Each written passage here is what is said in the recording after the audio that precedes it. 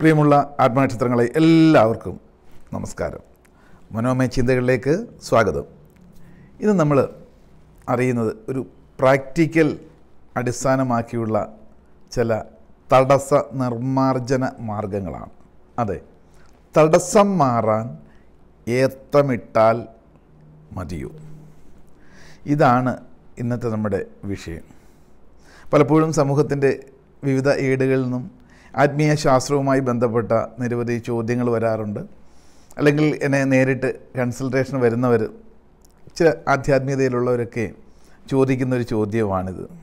എന്തിനാണ് ഈ ഏത്ത വിടുന്നത് അല്ലെങ്കിൽ ഒരുപാട് ദേവീദേവന്മാരുള്ളതിൽ ഗണപതിയുടെ മുന്നിൽ മാത്രം എന്തിനാണ് ഏത്ത വിടുന്നത് ഇതാണ്. ഗണപതിയുടെ മുന്നിൽ മാത്രമേ പലപ്പോഴും ഈ ഭക്തരായിട്ടുള്ളവർ ഏത്ത വിടുന്നത് നമ്മൾ കണ്ടിട്ടുള്ളൂ.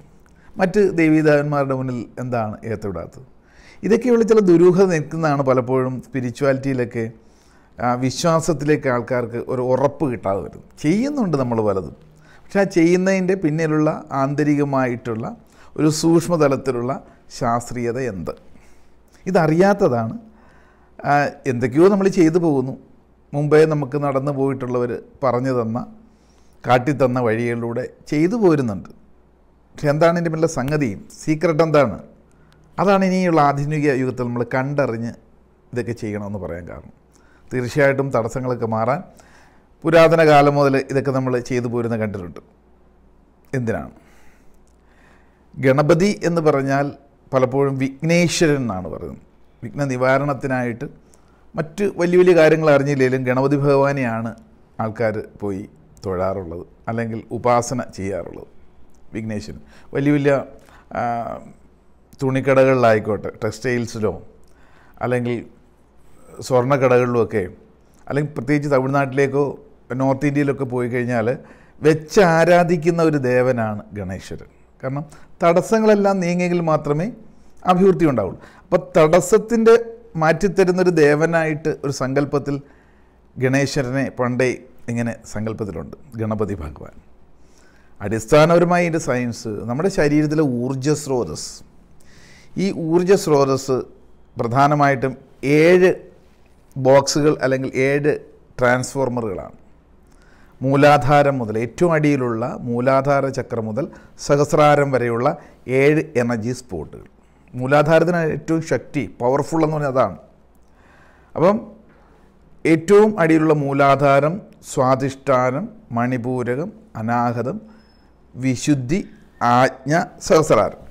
ഇങ്ങനെ ഏഴ് സ്പോട്ടുകളാണ്. ഇതിൽ നിന്നാണ് എനർജി ഡിസ്ട്രിബ്യൂട്ട് ചെയ്യുന്ന ബോഡിയിലേക്കും അവിടെ നിന്ന് പുറത്തേക്കും പ്രവഹിക്കുന്നത് ഇതിനകത്തുള്ള ഒരു ബ്ലോക്കൊക്കെ വരുമ്പോഴാണ് പലപ്പോഴും പല പല തടസ്സങ്ങളുണ്ടാകും. ഇതിൽ ഏറ്റവും പവർഫുള്ളായിട്ടുള്ള കുണ്ടലിനി ആസ്ഥാനമായിട്ടുള്ള മൂലാധാരം. ആ മൂലാധാരവും ഭൂമിയും എർത്തുമായിട്ട് ഡയറക്റ്റ് തൊട്ടടുത്ത് കണക്ഷൻ ഇരിക്കുന്ന കാരണം ഈ പവർ കൂടുതൽ മൂലാധാരത്തിനാണ്. ഈ ഒരു പിടുത്തം ഇത് നഷ്ടപ്പെടുമ്പോഴാണ് സർവവിധത്തിലുള്ള ഇൻബാലൻസും ബാലൻസ് തെറ്റുന്നത്. ഈ ബാലൻസ് തെറ്റിയാൽ എവിടെയും പ്രശ്നങ്ങളാണല്ലേ തടസ്സങ്ങൾ തന്നെയാണ്. ഈ തടസ്സത്തെ മാറ്റുന്നതിന് വേണ്ടിയിട്ട് ആ മൂലാധാര ചക്രത്തിൽ ചലനം സൃഷ്ടിക്കുന്നതിന് വേണ്ടിയിട്ട് അവിടെ ഒരു ഉദ്ദീപനം കൊടുക്കുന്നതിന് വേണ്ടിയിട്ട് പണ്ട് മുതൽ യോഗാചാര്യന്മാർ നിഷ്കർഷിച്ചിട്ടുള്ളതാണ് ഈ ഏത്തമിടിയിൽ ബോഡിയിലെ എനർജി ഒന്ന് ആക്ടിവേറ്റ് ചെയ്യാൻ ഇനി അതിലും കുറച്ചുകൂടെ കടന്നിട്ടുള്ളതാണ് പലപ്പോഴും ശീർഷാസനം ചെയ്യുക എന്ന് പറയും മൂലാധാരം മുതൽ സഹസ്രാരത്തിലോട്ട് മുകളിലോട്ട് എനർജി ഫ്ലോ കറക്റ്റ് ആകുന്നതിന് ബാലൻസ് ആകുന്നതിന് വേണ്ടിയിട്ട്. അപ്പോൾ സിമ്പിളായിട്ട് ഏത് ഭക്തർക്കും അല്ലെങ്കിൽ ഏത് വ്യക്തികൾക്കും ഡെയിലി ഒന്ന് ആക്ടിവേറ്റ് ചെയ്യുന്നതാണ് ഊർജത്തെ ഒന്ന് ചാർജ് ആക്കാൻ. അത് ആരാധനയുടെ ഭാഗമായിട്ട് അനുഷ്ഠാനത്തിന്റെ ഭാഗമായിട്ട് ഇങ്ങനെ ചെയ്തു പോരുന്നു. പക്ഷെ അതിന്റെ ശാസ്ത്രീയമായി തന്നെ ചെയ്യണം. എത്ത വിടുക എന്ന് പറഞ്ഞാൽ എത്ത വിടുന്ന പോലെ ചെയ്യണം. ചെവിയിൽ ശരിക്കും പിണഞ്ഞ് പിടിച്ച് നല്ലതുപോലെ കുനിഞ്ഞ് നീ വരണം. അതിന് വേറെ ഇപ്പോൾ ഒരു വഴിപാട് പോലെ എന്തൊക്കെയോ ആരൊക്കെ ചെയ്തിട്ടുണ്ട്. ഇങ്ങനെ രണ്ട് തുള്ളാണ്. അല്ലെങ്കിൽ ഒരു സറാവടിച്ചൊക്കെ അങ്ങ് പോവുകയാണ്. അപ്പം എന്താ സംഭവിക്കുക? നമ്മുടെ ബോഡി ഇരുന്ന് നിവരുമ്പോൾ മൂലാധാര ചക്രത്തിൽ ചലനം ഉണ്ടാകണം. എനർജി ഫ്ലോ എങ്കിൽ മാത്രമേ മുകളിലോട്ടുണ്ടാവുള്ളൂ. അപ്പം കാലുകൾ പിണച്ച് കൈകൾ പിണച്ച് ഇരുന്ന് പൊങ്ങുമ്പോഴുണ്ടാകാവുന്ന ആ ഒരു എഫക്റ്റ്. അതിനായിട്ട് വളരെ ശാസ്ത്രീയമായി ചെയ്യാൻ പറ്റുന്ന എക്സസൈസ് ഞാൻ നിങ്ങൾക്ക് തരാം. പണ്ട് ഒരു ഏഴ് മിനിറ്റ് കൊണ്ട് സമ്പൂർണ ആരോഗ്യം എന്ന് പറയുന്ന ഹാൻഡ് എക്സസൈസ് തന്നിരുന്നപ്പോൾ ലോക ജനത ഒരുപാട് അത് ഏറ്റെടുത്തുകൊണ്ട് ഇപ്പം നല്ല എനർജി ബാലൻസിൽ ആരോഗ്യത്തിൽ പോരുന്നുണ്ട്. അത്തരത്തിൽ തന്നെ കാണാൻ പറ്റുന്ന ഒരു എക്സസൈസാണിത് ഇതിനെ സൂപ്പർ ബ്രെയിൻ യോഗ എന്ന പേരിൽ വിദേശീയർ ഉപയോഗിച്ച് വരുന്നുണ്ട്. ഒരുപാട് വിദേശ രാജ്യങ്ങളിൽ സൂപ്പർ ബ്രെയിൻ യോഗ എന്നാണ് അതിന് പറയുന്നവർ. ഇതിൽ നിന്ന് കോപ്പി ചെയ്തുകൊണ്ട് പോയിട്ടുള്ളതാണ്. അതിന്റെ ശരിയായ ഫലം അവർ മനസ്സിലാക്കി സയന്റിഫിക്കായിട്ട് തന്നെ അവർ അതിനെ എക്സ്പ്ലെയിൻ ചെയ്തുകൊണ്ടാണ് ആരോഗ്യം അല്ലെങ്കിൽ ഹോളിസ്റ്റിക് വെൽനസ്സിന്റെ ഭാഗമായിട്ട് കൊടുത്തുകൊണ്ടിരിക്കുന്നത്. അതായത് അതിൽ പറയുന്നത് സയന്റിഫിക്കായിട്ട് പറഞ്ഞാൽ നമ്മുടെ തലച്ചോറ് എന്ന് പറയുന്നത് ഇതേപോലെ ഇരിക്കുകയാണ്. ലെഫ്റ്റ് ആൻഡ് റൈറ്റ് ബ്രെയിൻ ഇതിനെ കറക്റ്റ് സിങ്ക്രണൈസ് ചെയ്ത് ഉപയോഗിക്കാൻ ശരീരത്തിലുള്ള ആകമാനം ഓടുന്ന രക്തചംക്രമണ വ്യവസ്ഥ താളാത്മകമായ രീതിയിൽ കൊണ്ടുപോകാനും കൂടിയാണ് ഈ യോഗ സഹായിക്കുന്നത് എന്ന് ഒരു എക്സ്പ്ലനേഷനോടും കൂടിയാണ് ചെയ്തത്. ഇത് സ്റ്റുഡൻസിനൊക്കെ വളരെ നല്ലതാണ്. സ്കൂളിൽ പോകുന്നതിന് മുമ്പ് അല്ലെങ്കിൽ അസംബ്ലിക്കൊക്കെ നിൽക്കുമ്പോൾ ഈ ഏഴ് ഏഴ് പ്രാവശ്യം ഈ സൂപ്പർ ബ്രെയിൻ യോഗ മിനിമം ചെയ്താൽ മതി. നമുക്കാണെങ്കിലും മുതിർന്നവർക്കാണെങ്കിലും എല്ലാ ദിവസവും രാവിലെ ഏഴ് പ്രാവശ്യം ഇനി ഞാൻ നൽകുന്ന ഈ ഒരു എക്സസൈസ് ചെയ്താൽ സൂപ്പർ ബ്രെയിൻ യോഗ അല്ലെങ്കിൽ പച്ച മലയാളത്തിൽ പറഞ്ഞ ഏത്തവിടിയിൽ. ആ ഒരു ഇച്ചിരി ക്ലേശത്തോടുകൂടി അത്ര ക്ലേശം എടുക്കേണ്ട സ്വല്പം ഒന്ന് ചെയ്താൽ അന്നത്തെ ദിവസത്തെ എനർജി എല്ലാം കറക്റ്റായിട്ട് ബാലൻസ് ചെയ്ത് തടസ്സങ്ങളെല്ലാം മാറുന്നു. ഇത്രയൊന്നും വിശദമായിട്ട് പറഞ്ഞാൽ പലർക്കും മനസ്സിലാകാത്തതുകൊണ്ടാണ് വിഘ്നേശ്വരനെ പ്രതീകാത്മകമായി വെച്ചുകൊണ്ട് ഭയഭക്തി ബഹുമാനത്തോടെ ഇതൊക്കെ ചെയ്യുന്നത്. അപ്പോൾ അതിന്റെ ശാസ്ത്രീയതയാണ് ഞാൻ നൽകുന്നത്. അപ്പോൾ ചെയ്യാനുള്ളത് നിങ്ങൾ സ്ട്രെയിറ്റ് ആയിട്ട് നിൽക്കുക. വെറും സ്ട്രെയിറ്റ് ആയിട്ട് നിൽക്കുക. എന്നിട്ട് നമ്മുടെ വലത്തെ കൈ കൊണ്ട് ഇടത്തെ ചെവിയിൽ ഈ പോർഷനിൽ പിടിക്കുക. ഓക്കെ.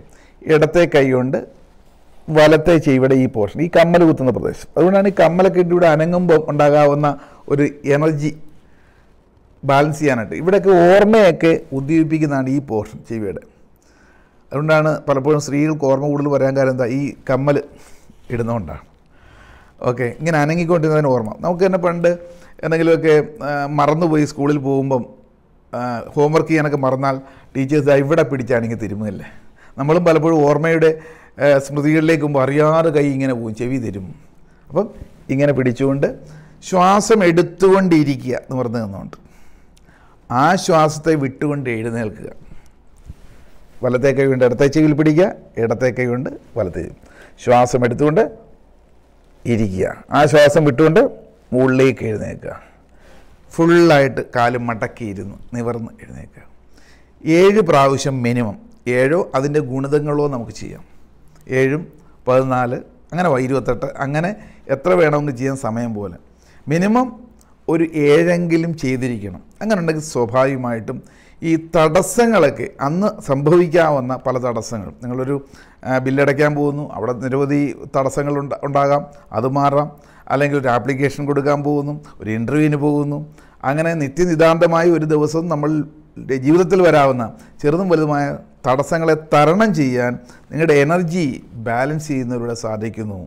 അതാണ് ഇതിന്റെ പിന്നിലുള്ള ശാസ്ത്രീയത. ക്ലിയർ ആണെന്ന് മനസ്സിലാകുന്നു. അപ്പോൾ ഒന്നുകൂടെ പറയാം. വലത്തെ കൈ കൊണ്ട് ഇടത്തെ ചെവിയിൽ പിടിക്കുക. ഇടത്തെ വീണ്ടും വലത്തേക്ക് വലത്തെ പിടിക്കുക. ശ്വാസം എടുത്തുകൊണ്ടിരിക്കുന്നു ശ്വാസം വിട്ടുകൊണ്ട് എഴുന്നേൽക്കുന്നു. ഇങ്ങനെ മിനിമം ഏഴ് പ്രാവശ്യമെങ്കിലും നിരന്തരം കഴിവതും രാവിലെ തന്നെ ചെയ്യുന്നത് നല്ലതാണ്. ഇനി ഇത് ഓരോന്നും പറഞ്ഞു തരുമ്പം ആൾക്കാർക്ക് ഒരുപാട് ഡൗട്ടുകളൊക്കെ വരാം കേട്ടോ. ഇനിയിപ്പം ആഹാരം കഴിച്ചിട്ട് ചെയ്യാവോ ആഹാരത്തിന് മുമ്പ് ചെയ്യാവോ ഇങ്ങനെ പല സംശയങ്ങളുണ്ട്. ഇതിനകത്ത് അങ്ങനെ പ്രത്യേകിച്ച് സൈഡ് എഫക്ട്സും കാര്യങ്ങളൊന്നുമില്ല. നടു ഇരുന്ന് എഴുന്നേറ്റ് അങ്ങനെ ഒരു ഏഴ് പ്രാവശ്യം ചെയ്യുക. എന്തെങ്കിലും ഡൗട്ട് ഉണ്ടെങ്കിൽ നിങ്ങൾക്ക് വിളിച്ച് ചോദിക്കാം കുഴപ്പമൊന്നുമില്ല കേട്ടോ. Nine double four seven zero three six eight five nine അപ്പം അങ്ങനെ ഈ ഒരു പ്രക്രിയയിലൂടെ സൂപ്പർ ബ്രെയിൻ യോഗ എന്ന് നമുക്ക് ഇംഗ്ലീഷിൽ അങ്ങ് പറഞ്ഞു. ഇനി അല്ലെങ്കിൽ പഴയ പോലെ അറിയുന്ന രീതിയിൽ ഏത്തമിടിയിൽ. അതിന്റെ പിന്നിൽ നടക്കുന്ന ശാസ്ത്രീയതയാണ് ഇവിടെ പറഞ്ഞത്. അപ്പം ഇതെല്ലാം നിങ്ങൾക്ക് പ്രയോജനപ്പെടുന്നുണ്ടെങ്കിൽ തീർച്ചയായിട്ടും എന്ത്? മടിച്ചു നിൽക്കരുത്. ഷെയർ ചെയ്യുക. മറ്റുള്ള സുഹൃത്തുക്കൾക്കും ബന്ധുക്കൾക്കും എല്ലാം അയച്ചു കൊടുക്കുക. ആരോഗ്യം സമ്പൂർണമായ മാനസിക ശാരീരിക ആരോഗ്യം പ്രദാനം ചെയ്യട്ടെ എല്ലാവർക്കും. എന്ന് ആശംസിച്ചുകൊണ്ട് ചിന്തയ്ക്ക് വിട്ടുകൊണ്ട് ഇന്നത്തേക്ക് ഇവിടെ പറഞ്ഞു പിരിയട്ടെ. നന്ദി. നമസ്കാരം.